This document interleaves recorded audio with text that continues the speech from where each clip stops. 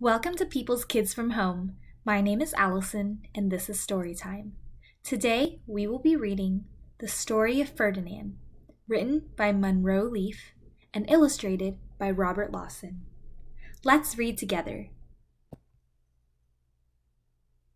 El toro feroz, Ferdinando.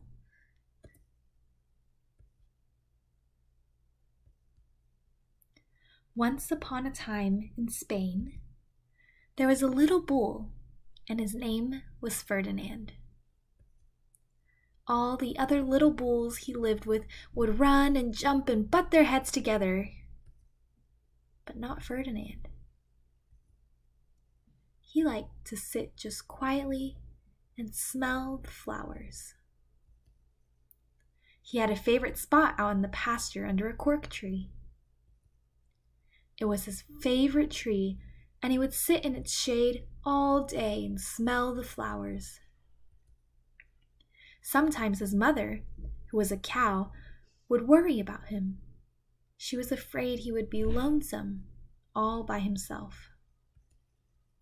Why don't you run and play with the other little bulls and skip and butt your head? she would say. But Ferdinand would shake his head. I like it better here, where I can just sit quietly and smell the flowers. His mother saw that he was not lonesome, and because she was an understanding mother, even though she was a cow, she let him just sit there and be happy. As the years went by, Ferdinand grew and grew until he was very big and strong. So he's two years old. All the other bulls who had grown up with him in the same pasture would fight each other all day. They would butt each other and stick each other with their horns. What they wanted most of all was to be picked to fight at the bullfights in Madrid. But not Ferdinand. He still liked to sit just quietly under the cork tree and smell the flowers. One day, Five men came in very funny hats to pick the biggest, fastest, roughest bull to fight in the bullfights in Madrid. All the other bulls ran around snorting and butting, leaping and jumping so the men would think that they were very, very strong and fierce and pick them. Ferdinand knew that they wouldn't pick him, and he didn't care, so he went out to his favorite cork tree to sit down. He didn't look where he was sitting, and instead of sitting on the nice, cool grass in the shade, he sat on a bumblebee. Uh oh. Well, if you were a bumblebee and a bull sat on you, what would you do? You would sting him. And that is just what the bee did to Ferdinand. Oh no. Wow, did it hurt? Ferdinand jumped up with a snort he ran around puffing and snorting, butting and pawing the ground as if he were crazy. The five men saw him, and they all shouted with joy. Here was the largest and fiercest bull of all, just the one for the bullfights in Madrid. Oh no! So they took him away for the bullfight day in a cart.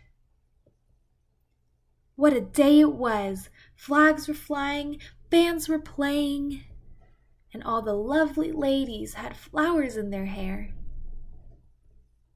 They had a parade into the bullring. First came the banderilleros with long, sharp pins with ribbons on them to stick in the bull and make him mad.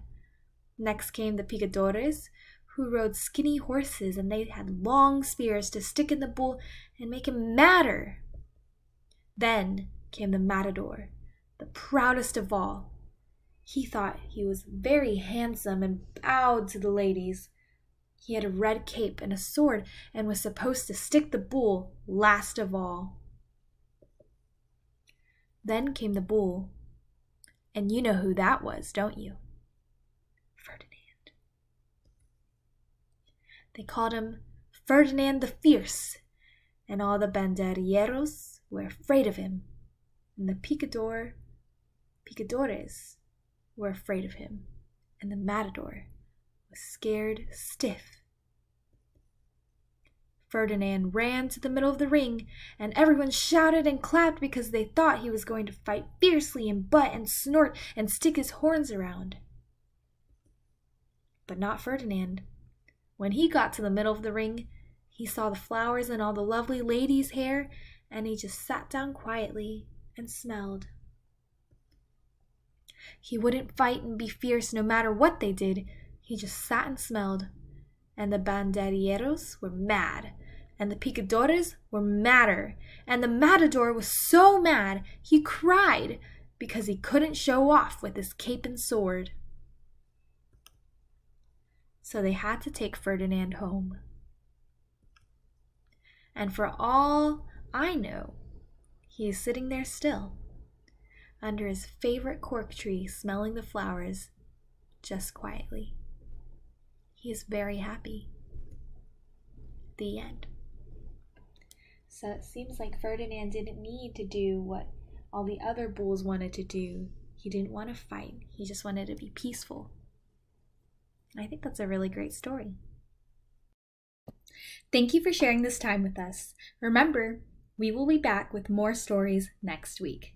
Can't wait to have you again.